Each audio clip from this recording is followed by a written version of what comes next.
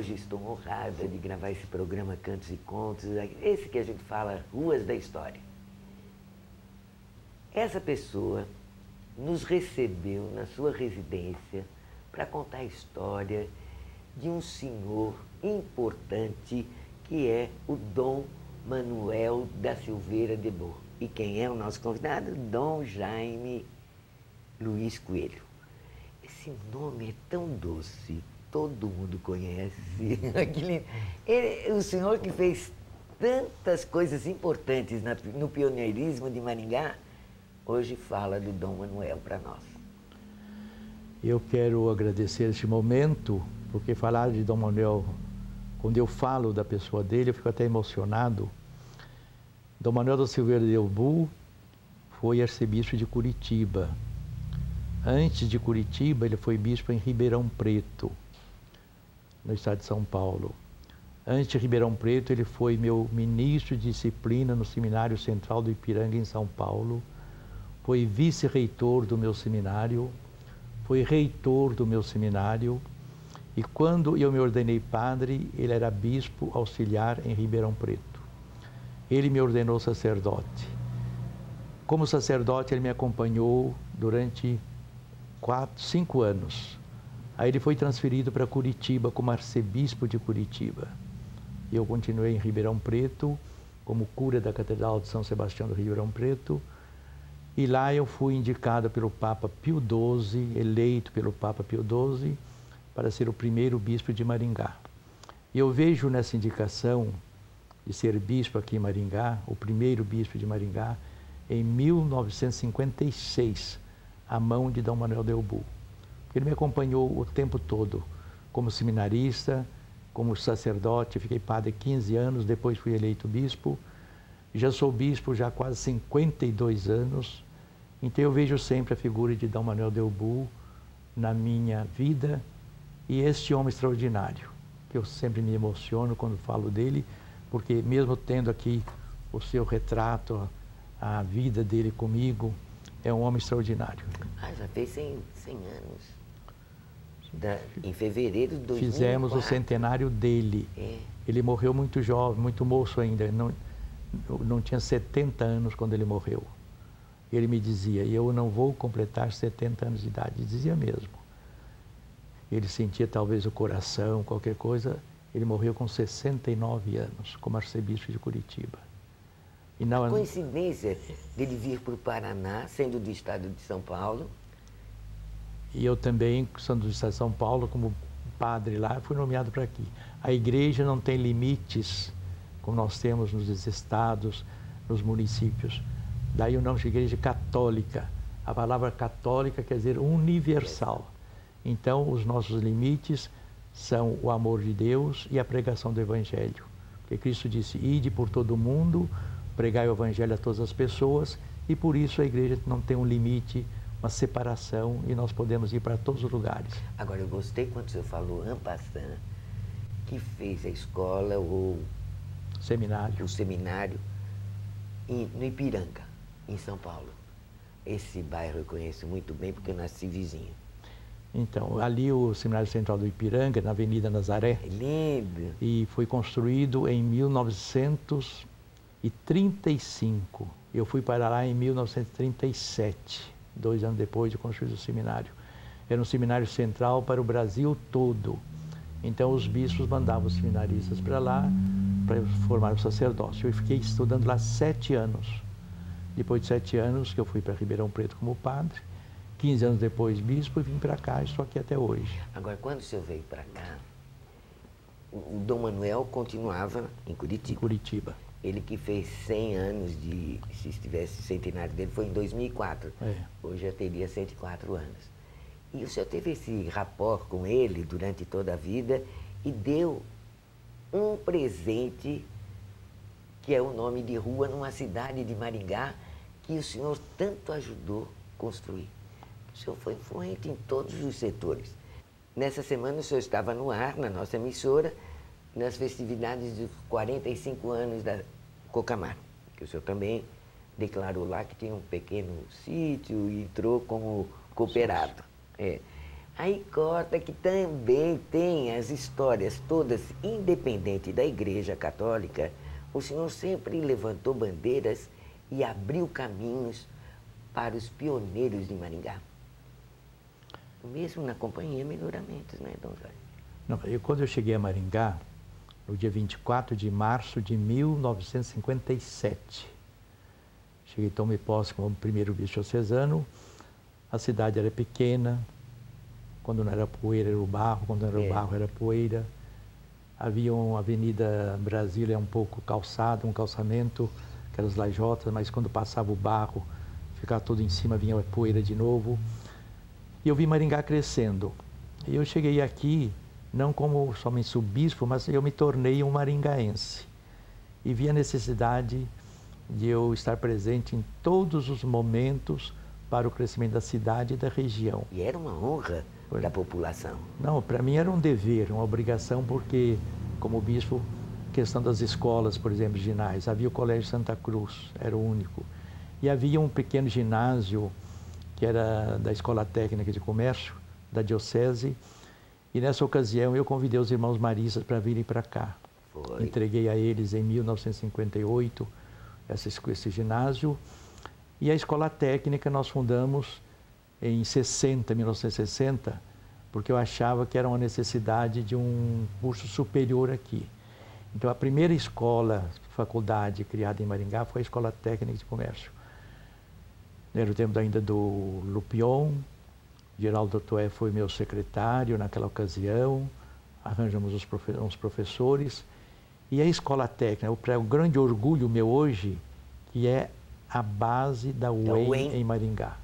Então a gente viu aí toda a universidade cresceu sobre esta escola técnica. E por aí afora, a diocese ia até os limites com Mato Grosso. Loanda conseguiu um colégio de freiras lá. Nova Londrina, um colégio de irmãs. Paraíso do Norte, um colégio de irmãs. Paranavaí, um colégio de irmãs. Marialva, Jandaia do Sul e Mandaguaçu. Todos esses lugares foi construindo colégios também, construindo religiosas para abrir colégio, porque havia uma necessidade de escolas nessa ocasião. Isso porque, em algum lugar, algum lugar, as professoras dos grupos escolares eram senhoras, muitas vezes a esposa do médico, alguém mais, mais elevada socialmente. Ela não dava aula, mas tinha uma substituta. Então, ela recebia o salário dela, vamos supor, 100 reais, dava 30 para a substituta e ficava com o restante. Aquilo para mim foi um, um golpe muito. Isso acontece ainda hoje, né? Como está acontecendo nessas. nessas Emprego de cabide. Nessas, é. nas, nas assembleias, como agora os fantasmas estão recebendo lá até hoje, aqui na Diocese, Maringá também, falou-se aqui na própria Câmara Municipal, que havia os assessores, que a, o vereador ficava com todo o dinheiro, dava só um pouquinho para o outro. Tá, tá, não é coisa antiga, não, é coisa velha, mas está acontecendo ainda hoje. Então, por isso é que eu procurei entrar no meio. E até hoje, depois de 52 anos quase em Maringá, como bispo aqui, já não sou mais o bispo, mas na minha presença eu quero o bem dessa cidade. Eu luto para essa cidade. Até naquele dia lá na Cocamar, o senhor do Banco do Brasil, ô, oh, Dom Jaime, eu vejo o senhor na televisão, as broncas que o senhor está dando na televisão. Eu falei, dou bronca mesmo. Eu quero o bem de Maringá, eu quero tudo bem. Agora, falando em televisão, o Dom Jaime Luiz Coelho, aqui presente, que é uma honra para mim estar aqui, também foi muito influente na comunicação de Maringá na inauguração de jornais, televisão. O senhor esteve presente em todos os momentos, em todos os segmentos da cidade. Sim, eu sempre fui muito favorável, a favor da, das comunicações. Assim que eu cheguei, havia televisão, a Rádio Cultura, tinha um programa de quase uma hora, todos os dias, todos os dias na Rádio Cultura, quando eu não podia ir em outro padre escrevia sempre né, no diário do Ives Lavogano Pacheco. Havia um outro jornal, a Tribuna. Fundei a Folha do Norte do Paraná. Não fui para frente por quê? Porque a, imprensa vende, vende espaços vazios. Então ali eles publicam o que bem entende. Ou é para criticar um, ou é para falar bem do outro. E eu achei que para nós não estava assim, então passei para frente a, a Folha do Norte, por fim fecharam. Temos agora a televisão Terceiro Milênio. Continuo escrevendo nos jornais, escrevia muito lá para Curitiba, também a Gazeta do Povo. Enfim, temos aí um amor grande para com os meios de comunicação social. Nós somos obrigados a fazer uma visita a Roma, ao Papa, a cada cinco anos, com os bispos. Numa ocasião que eu fui fazer a visita, eu visitei a Secretaria dos Meios de Comunicação Social do Vaticano. E o cardeal, que era muito o prefeito daquela ocasião, lá na, nós chamamos prefeito, que era o presidente, ele então queria que eu fosse trabalhar em Roma com ele. O senhor não aceitou? E eu disse, senhor cardeal, eu não sou mais criança, estou com 58 anos. Para vir para cá, para Roma, deixar tudo isso, então eu prefiro ficar lá, em Maringá, onde eu estou. É que eu não sabia que ia viver até 92 anos. senão, você não podia estar lá em Roma até hoje, né? também ajudando. Nós mas voltei, a sua é, presença. Mas voltei para cá, continuei meu, meu trabalho, mas realmente os meios de comunicação. E nós temos com a televisão Terceiro Milênio, eu tenho três programas na televisão semanais. O meu jornal, eu escrevo no diário um artigo todo domingo também. E assim, o que eu puder, vou levando avante, que é uma coisa extraordinária. Só que muitas vezes eu fico assim aborrecido com certa estamparia em alguns jornais, aquelas mulheres nuas, aquelas coisas que não. É, cada um dá o que tem, né? Mas cada um dá mundo, o que tem. O mundo é, mudou tanto. O mundo mudou, mas o, não é todo mundo que quer. Que aceita, para que, que eu tenho que aceitar isso? É. Hoje, hoje, falando assim de Globo, vai, a televisão que tem maior audiência. Às seis horas da tarde, ou seis e meia, tem uma novela que chama Ciranda de Pedra, é uma novela antiga, autora antiga. Eu me emociono de ver que era a minha a minha juventude. E a ambientação é tão perfeita com os carros antigos que o senhor, se o senhor vê, vem, cai uma lágrima de saudades daquela época, que a gente era inocente, pura. Não tinha tanta maldade. Hum. E tinha muito mais fé. Então, mas eu acho que há poucos dias eu falando sobre essa questão do, das escolas, disse que fazer fábrica de camisinha nas escolas agora, ministro da Saúde quer fazer isso para crianças, meninos de 15 anos, 14 anos, meninas aí já são mães de 14 anos. E por quê? A, o ministro da Saúde, da Educação, ao invés de levarem esses adolescentes e jovens a buscar uma pureza de vida, estão incentivando a isso aí. Então alguém diz, é, mas é bom que o senhor fale. E eu falo, vocês pais têm que falar, vocês têm que ir contra isso. Eu falo da minha parte. Mas se os pais ficam sossegados, são contrários a tudo isso, mas não, não, não levantam a voz. Então lá então os ministros do Lula começam a fazer toda essa safadeza aí de publicar e de levar essa destruição da juventude da, dos mas adolescentes. Mas a família é importante, é o esteio. Qual família que não tem discussão, que não briga? Meu pai, falecido há muitos anos, dizia que os filhos são como os dedos da mão um diferente do outro, mas se um corta, qualquer um que, que corta dói. Hum. E a gente teve uma, uma educação assim, só não. Por quê? Por que não? Eu não sabia o porquê do não. Mas a gente foi numa vida decente, correta e temente a Deus. Quem sabe os dez mandamentos não faz nada do que está acontecendo aí hoje. Concorda? Claro. Só os dez. E são milhares e milhões de leis. Se obedecesse os cinco, os dez mandamentos da lei de Deus, Pronto, bastaria Mas isso. isso. Hoje, ou, é a evolução, ou a, o, é, o, exagero de comunicação, porque hoje não tem mais. Ninguém pode idosar, não, você não vai lá porque lá não, não serve. Tudo hoje está bom. Jefferson dizia que as leis não são necessárias para as pessoas que andam direito. E as leis são inúteis para, para aqueles quem? que vivem pregando o erro. Isso. Então, questão. Então, Jaime, e essa, o, o problema hoje não é a igreja. Por exemplo, eu vi há dois anos atrás que teve aquele movimento católico lindo no, no Willie Davis. Hum. Foi? Foi da Corpus Christi, da, depois dos 50 anos da Diocese. Foi. 50 teve, anos da Diocese, o ano passado. Foi uma presença linda e, de fato, emocionante. Foi, não foi, então? Foi bonito que a, que a gente pôde a, agrupar todos os católicos com fé ou sem fé, ou voltar para a igreja, não foi assim? Foi Isso foi que eu vi, os 50 anos da Diocese. Agora, nós, eu tive o prazer de conhecer Dom Murilo, que se foi para outra cidade, onde ele está? São Florianópolis. Em Florianópolis. O Dom João, que Brasília. hoje está em Brasília. E hoje nós recebemos a presença do Dom Anuar Batista, que é hum, é maravilhoso também. Ele, nós estamos bem dirigidos e o Senhor continua comandando a nossa religião, nosso caminho, a nossa fé. E não, nós, falamos, eu... nós falamos tanta coisa do Dom Manuel. Mas eu estou, não estou comandando mais, eu apenas estou ajudando, porque ah, agora quem comanda. É agora, é, agora é quem comanda é Dom Anuar, que ele é o arcebispo. Eu apenas ajudo, colaboro um pouquinho só. Mas Dom Manuel é Delbu. Modéstia é, sua. Dom Manuel Delbu, como eu disse, ele está na minha vida desde o tempo de seminário, desde 1935, quando eu comecei o estudo de superior de filosofia me ordenou sacerdote, consagrante bispo, me acompanhou aqui no Paraná, assim que eu vim para 57, ele morreu em 70, 1970. É um homem extraordinário. Agora, quando cheguei a Maringá, eu morava aqui atrás do Santa Rita. Na Naquela rua... casa que hoje tem um movimento também, não tem? Tem o Mareve. É o Mareve.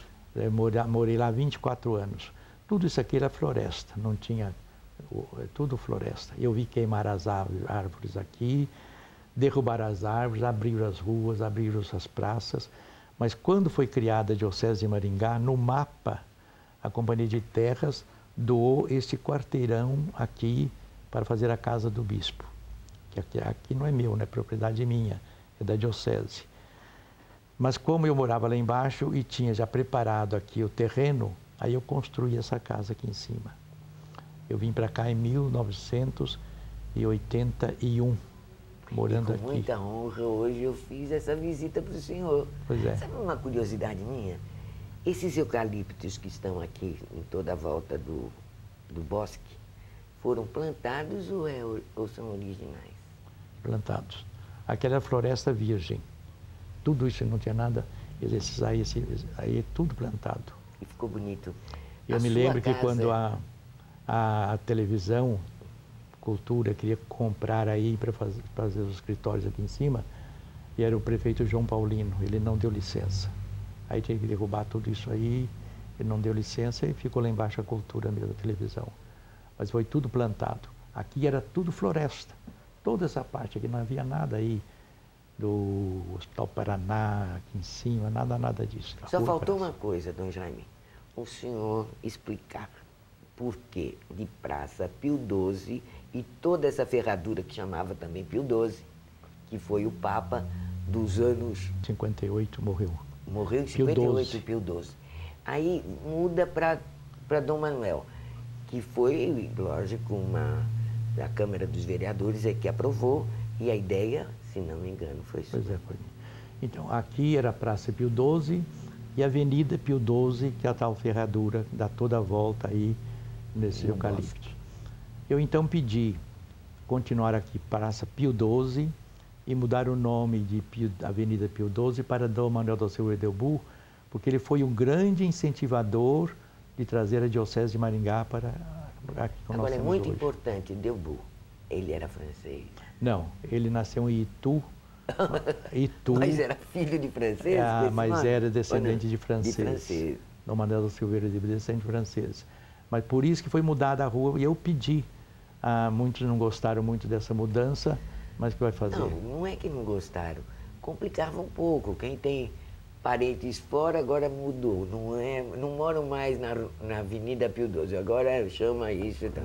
Mas com o número do CEP, a mas correspondência eu, foi chegava. justamente uma homenagem a ele por Justa, ser criado justa. a Diocese de Maringá. Ele foi a grande E causa. hoje nós tivemos a oportunidade aqui nesse programa Cantos e Contos da Multi TV de explicar para o telespectador que acompanha esse programa que a gente fala Ruas da História, hoje nós estamos falando de uma avenida, e o Dom Jaime nesse programa explicando por que o Dom Manuel da Silveira Delbo foi homenageado graças à sua sugestão e também aprovação da Câmara. Obrigada, Dom Jaime. Eu que agradeço e fica essa grande lembrança de Dom Manuel da Silveira de Ubu, que é este homem extraordinário, que ele era mocinho ainda, mas morreu com 40, 68 anos.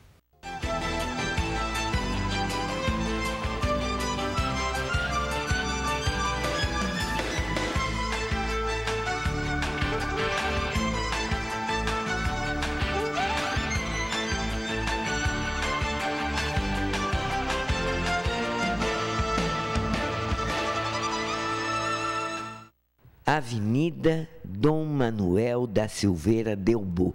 É assim que se pronuncia. Como explicou Dom Jaime, ela começa na Praça 31 de Março e contorna o Bosque das Grevilhas, local florido principalmente durante a primavera e o verão, além da arborização dos longos eucaliptos. O bosque feito para longas caminhadas e é nesta bonita avenida que às quartas-feiras acontece a Feira Verde. O cenário é propício para lindas residências, clínicas e prestadores de serviço. Quando chegamos à Praça Pio XII, ela a Avenida D. Manuel da Silveira Delbo foi por onde continuamos o nosso percurso. Encontramos um outro portal indicando mais uma entrada para o Bosque das Grevilhas, onde foi estrategicamente colocada a ATI. Ideia e criação da atual administração para a melhor qualidade de vida dos munícipes. E seguimos até chegarmos novamente na Praça 31 de Março. A pista para as caminhadas fazem o mesmo percurso. Como nos explicou Dom Jaime Luiz Coelho, a pedido dele, a Câmara dos Vereadores fez um projeto de lei mudando da Avenida Pio XII para Dom Manuel da Silveira de Bo.